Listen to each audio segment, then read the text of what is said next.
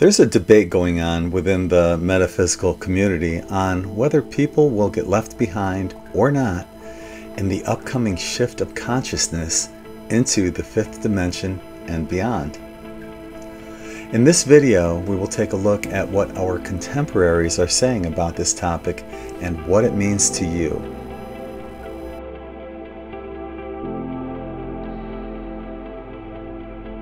Jenny Schiltz recently had a dream where she was distinctly shown how the split in the shift will occur.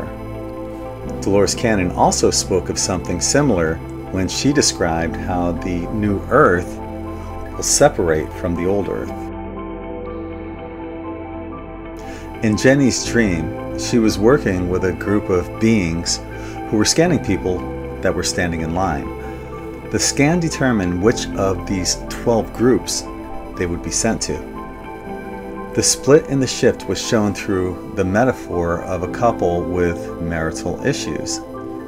The wife scanned as a 2 and he, the husband, was a 0. He was told, sorry, you can't go forward.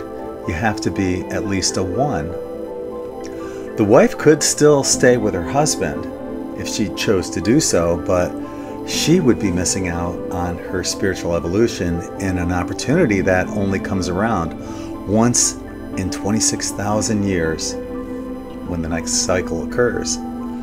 The 12 groups were explained to Jenny as groupings of frequency. The differences between each of the 1 through 5 frequency groupings is huge, according to Jenny. She described it as the difference between a two year old and a four year old, adding that the 6 through 12 frequency groupings have smaller differences between them.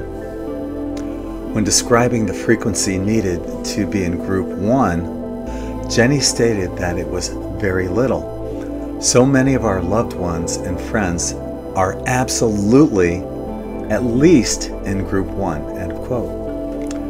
Jenny asked, What is it that keeps someone locked into a group 5 when they are wanting to move to a group 8? The answer she was given was fear. Fear is the number one thing that locks us in. This process helps to explain why many people may be fading away from our lives while others are being drawn to us. It's all about frequency.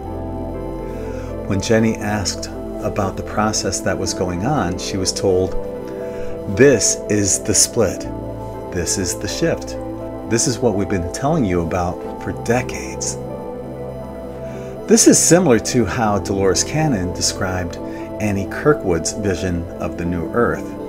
Dolores explained, and I quote, The old Earth is still vibrating at this low frequency, with all these terrible things happening to it but the other, the, the new Earth, moves into the new dimensions, vibrating so fast that it becomes invisible.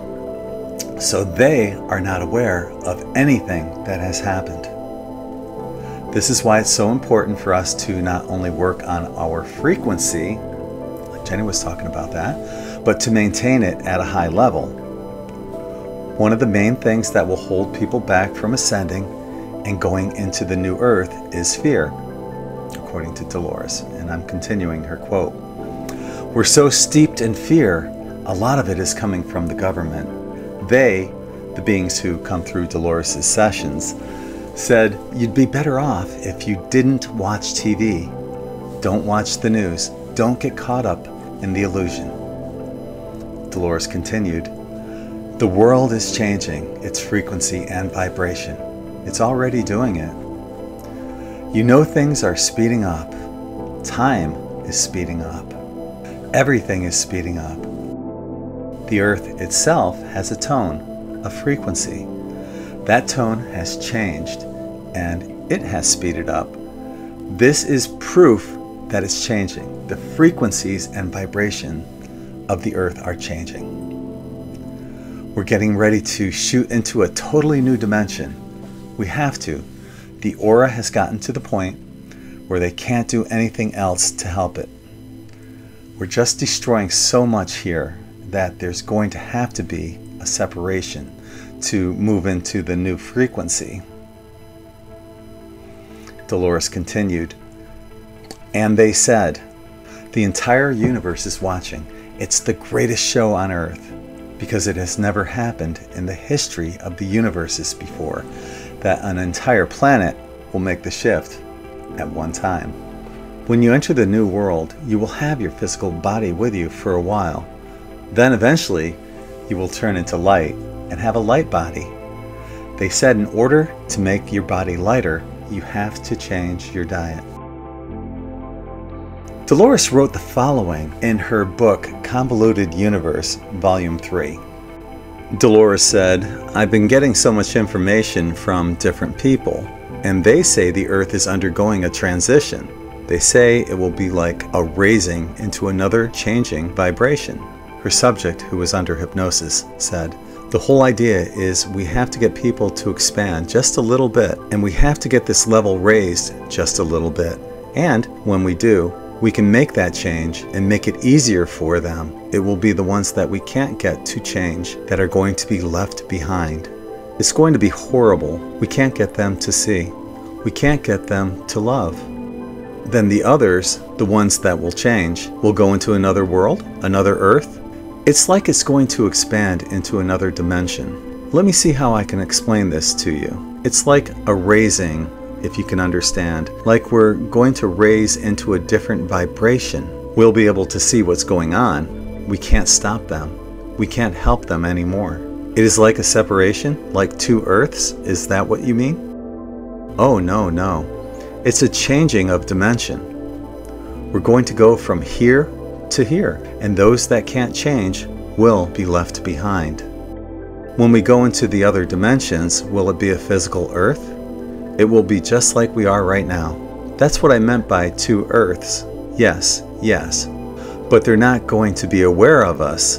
God help them. God help them.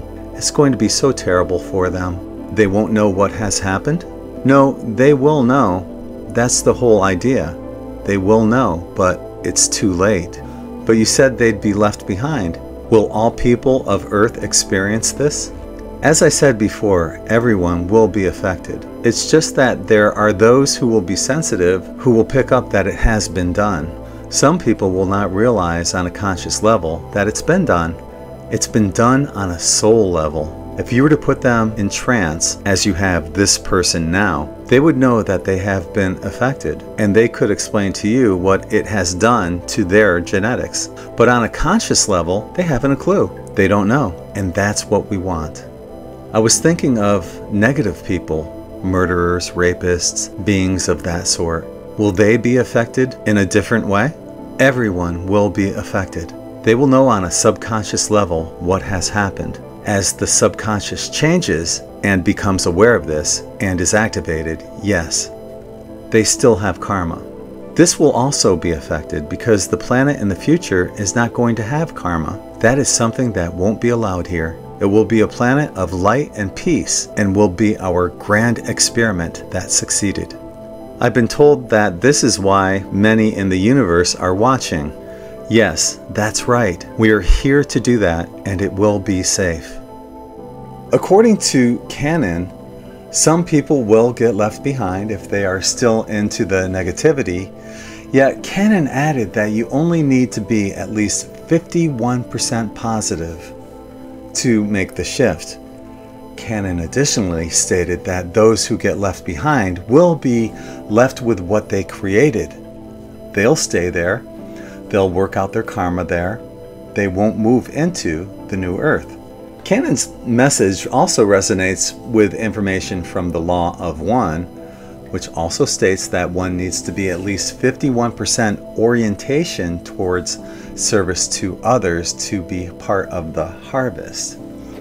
According to Ra, you do not need to understand the Law of One or have an esoteric or metaphysical knowledge in order to ascend. According to the law of one, this is the condition for being harvestable.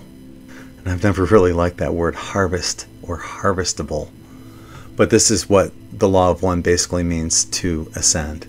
So the condition for being harvestable is being over 51% service to others and less than 50% service to self. Question The book Oahspe says that if an entry is over 51% service to others and less than 50% service to self, then the entity is harvestable for the positive fourth dimensional level. Ra, that is correct. The negative path is quite difficult for attaining harvestability and requires great dedication. To be harvestable in the negative orientation requires at least 95% service to self and 5% service to others question. In short, no one will get left behind. Even nefarious people such as Hitler, Mussolini, and other world leaders who have worked against the best interests of humanity. It'll just take them a lot longer and many more lifetimes to reach their next level of spirituality. I'm going to wrap it up there. If you like the t shirt I'm wearing, you can find it at In5D Quantum Tie Dye at in5d.net. I'd like to thank all of our Patreon family supporters, and if you'd like to join us as well, you can find a link below. And until the next time, from my heart to yours, I'm sending you all infinite love and light, and I'm sure I will see you on the other side. Namaste, everyone.